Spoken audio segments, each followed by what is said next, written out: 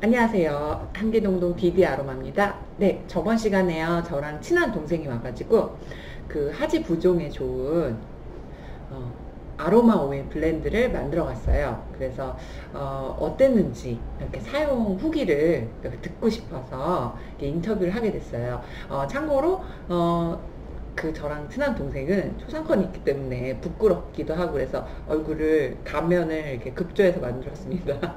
그래서 이렇게 있고요. 자, 어, 어땠어요? 사용감 어땠나요? 네, 여러분 반갑습니다. 저는 우선 사용을 한 일주일 정도 해봤는데요. 음, 뭐랄까, 일단은 몸이 찬 저의 체질에 굉장히 잘 맞았고요. 따뜻하면서도 이제 직장인분들이나 학생분들 오래 앉아있고 오래 걸어 다니잖아요. 땡땡 부었을 때 한 5분에서 10분 정도만 샤워 후 혹은 너무 바빠서 샤워를 못했을지라도 그러니까 누워가지고 같이 이렇게 마사지를 살짝만 해줘도 그 뭉쳤던 부분이 잘 풀어지면서 오히려 그 오일의 그 보습감과 그 발림성이 아주 좋았던 것 같습니다. 또 애용해 보려고요. 아, 네네. 너무 교과서적으로 아주 잘 말씀해 주셨어요. 어, 제가 한번 다시 어떤 레시피를 짰는지 한번 봐야겠어요. 네, 감, 감사합니다. 안녕.